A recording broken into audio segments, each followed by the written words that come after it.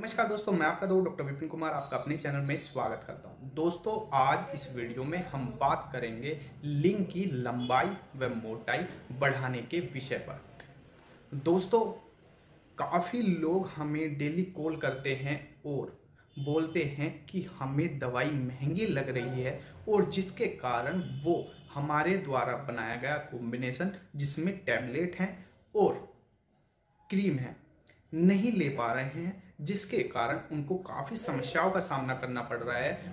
और वो बोलते हैं कि आप हमें बता दीजिए कि कोई घरेलू नुस्खा हम इस्तेमाल कर सकते हैं या नहीं। हाँ आप घरेलू नुस्खे इस्तेमाल कर सकते हैं और उनके काफ़ी अच्छे रिज़ल्ट भी मिलते हैं।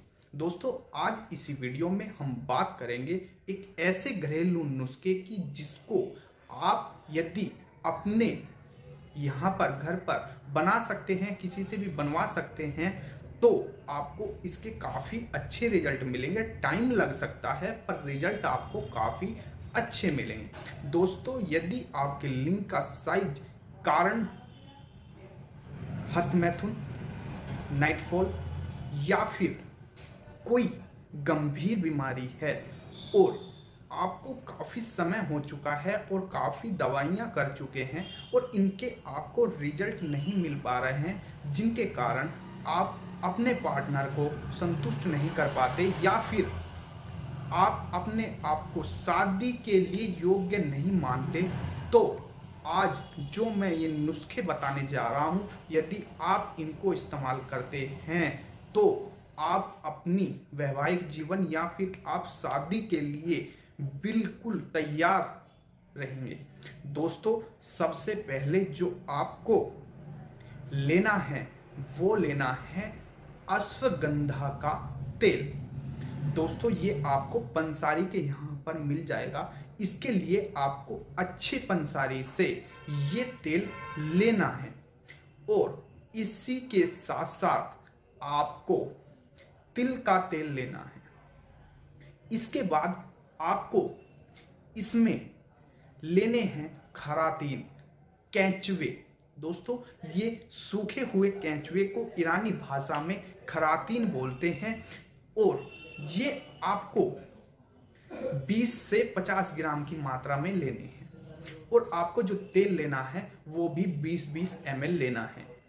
अश्वगंधा का भी और तिल का भी। और इसके बाद आपको लेने हैं रोगन बेजा मुर्ग। या फिर आप रोगन बेजा मुर्ग की जगह अंडे जो होते हैं, देसी अंडों की जर्दी, जो आप जर्दी ले सकते हैं, या फिर अंडों के देसी ही होने चाहिए, उनकी आप जो छिलका रहता है ऊपर का हार्ड वाला, वो ले सकते हैं।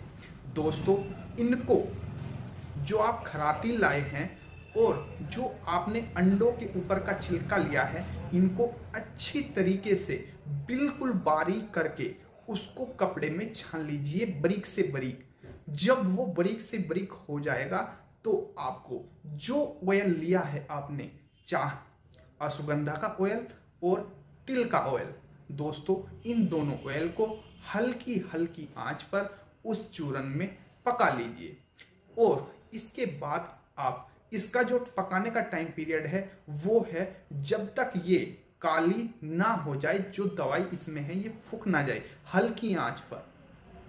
इसके बाद आपको इसको ठंडा कर कर एक डब्बे में भर लेना है या सीसी में डाल लेना है और इसकी आपको 10 बूंद लेनी है और इसकी आपको अपने पेनिस पर मसाज करनी है। जिससे आपके लिंग के साइज़ में बढ़ावा हो सके। दोस्तों, यदि आपको वीडियो अच्छी लगी हो तो वीडियो को लाइक शेयर सब्सक्राइब ज़रूर।